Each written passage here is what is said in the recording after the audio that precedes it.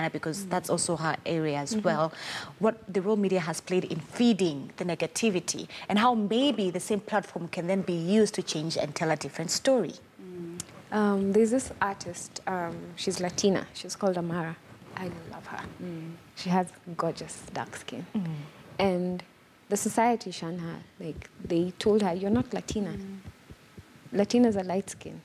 And it really, she struggled a lot because she's an artist. And for the media industry then, embracing her, embracing her, her talent and her, her arts was harder because she was dark skinned. So a lot of what she was doing was shunned out because she was not the complexion um, the J-Los and the likes needed to be because J-Lo is light skinned. She's Latina. She blew, like it was crazy. Now for Amara, it was the complete opposite. And then just all of a sudden, again, another media uh, person noticed her and it went crazy. And she was everywhere. She was on billboards. She was on talk shows talking about how her, her skin now um, it really it messed up her childhood so to speak. And it doesn't help if you're trying to like she said put yourself out there and then you don't get um, recognition i don't know if that's what i mm. should call it mm. because of your skin tone Yeah. so right now, all her music videos, all her songs and everything, they're everywhere. They're being played everywhere. She recently got a role to play in a movie, again, because of her skin tone. So what are we saying? Are we mm. in the media industry? What are we trying to say? Because we have the bit where we're not supporting them, then we have the bit where we're trying to now bring out this um, notion that my black is beautiful. But do you Yeah, believe that your black is beautiful? And that's the question So- we need to be asking ourselves. Exactly. And I used to have a huge issue with uh, makeup products. Um, I will not mention names because for the longest time they would come to Africa and advertise their foundations and everything, but you would never get anything that was close enough to your complexion. But Polly, I like what you said because it's so, it's pure honesty. Let's be honest. It's Yeah. not until the other day when um, Rihanna decided to do an entire collection on dark Exactly. skinned women. Yeah. Let's let's Yeah. call it what it is. Yeah. Even beauty products were specifically made for um, women of lighter yes. skin tone. Yes. And that's the that's what we need to be doing, Yeah. right? And and let me loop in Diane into the conversation a little bit. She said, I love the, the fact that she gave an example of someone who is in, in the industry. But even here on the African continent, we need to start having a raw, honest conversation with ourselves. Let's look at our music videos, our Swahili music videos. They're all either light-skinned Yeah. women Yeah. or white women. Why aren't our black women also in those music videos? D. Um, you know, I think there's so much conditioning um, from our pop culture. Like the people who are artists now, what did they grow up watching? What do they aspire to? So there's this whole saying for, oh, when a guy becomes successful, who, what kind of girl is he gonna go for? It's exactly. the mixed race, light skin. So when you watch music videos, these are the women you see, and you're like, oh, that's what's sexy, that's what's hot, that's what's beautiful. So yeah, like you never see a girl with an afro and dark skin.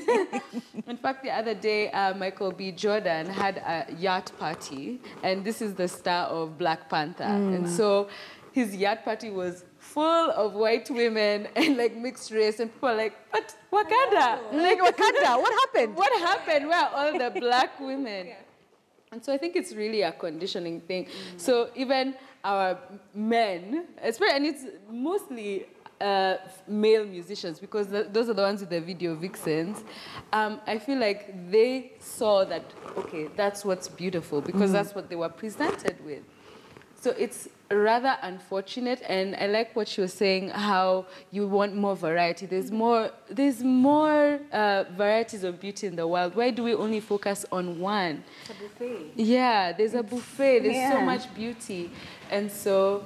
Uh, personally, as an artist growing up in Africa, the people I looked up to as musicians, if I think of all of them, they're all either white or light skin or mixed race. So I was like, oh man, can I really be an artist if I'm not like you know, 0.5, because that's what looked like will give you success. Diana, what do you think is the role that men have to play in sort of breaking this stereotype and, and uh, having a better attitude towards colorism?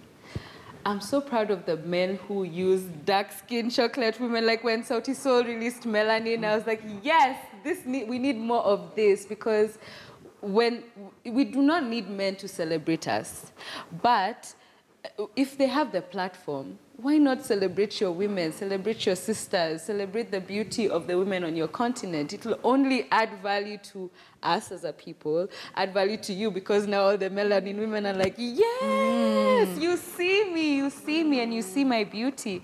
So they definitely have a role, but I, I do not want to put that power in the hands of men. I will not wait for the men to uh-huh. celebrate us. Even us as female musicians, we have to celebrate ourselves, celebrate our melanin, be in all our gloriousness, and show that example. So, yeah, men, please catch up, but also us as female artists, we have a role to play. Joanne, what sort of feedback are you receiving ever since you started doing this mm. project and having this conversation? What feedback Yeah. are you getting? That's so interesting because it's been so overwhelming in terms of I didn't I mean I wanted it to to start conversations because that's what my platform platform is all about. But I didn't think that I would get feedback from one men on the DM not publicly but they'll be on the DM and I didn't realize that bleaching is actually a thing for men. It's not as full blown, blown as women, but it's there.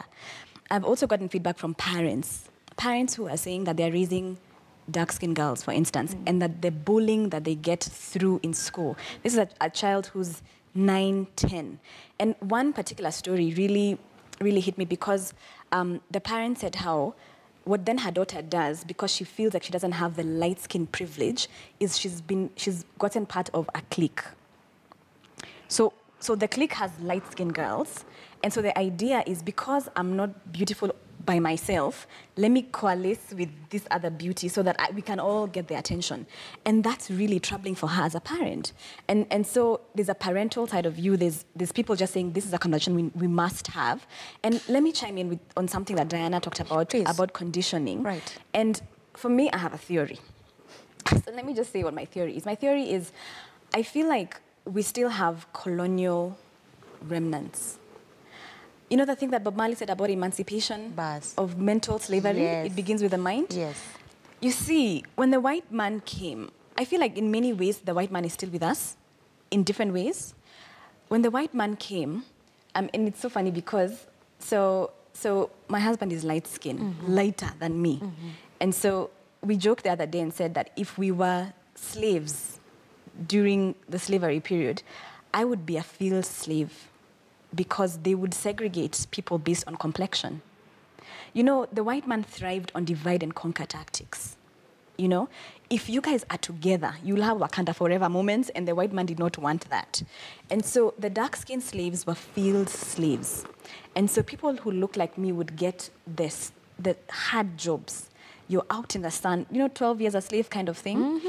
Then the light skinned slaves were house slaves. They were given less strenuous tasks. They were deemed to be cleaner, wiser, better than the dark skinned slaves. And so, in essence, he would be a house slave and I would be a field slave. That's a joke in the house. But it's, it's sad if you think about it. It's really sad because that's where it actually began. And when the white men um, began having relations with black women, Yes. then they got mulattoes or Yes. point fives. Yes. Now, these were the favored lot. And so you see, what they did slowly and slowly was show you who's in the field that you're no good, and you who's in the house that you're better. And so that then perpetuated the light skin privilege, where you, doors can open for you. I've had people who, a light skinned woman, who told me last week that doors open for her because she's yellow, yellow. So there is such a thing as light skin. As a matter of fact, in Nigeria, your marriageability soars when you, when if you're light skinned. Apparently, Nigerian mothers tell their sons, if you go abroad, come back with your degree and a yellow woman, and you're, we will celebrate you. And that's from an African mother. Yes, who's probably as dark as me. So I it's ha- a I'm taking of- that in. a lot I'm just of- taking that in. A lot of a lot of conditioning, a lot of conditioning has gone through that, and that's why we have you know terms like rangi ya thao. I recently put up a video, and people didn't even know where it came from. So a thousand bob note is the highest Kenya's denomination, and so if you're called rangi ya thao, it means you're closest to that. So we made a joke when we we're recording, and we're like, I'd probably be 200, maybe Mayonde would be 800. And Polly would be 500 if Rangi ya thao or Thao is the epitome of beauty. My gosh. All right. Um, let's take a quick commercial break. When we come back, the ladies get personal and they share their own story. We'll be right back with them.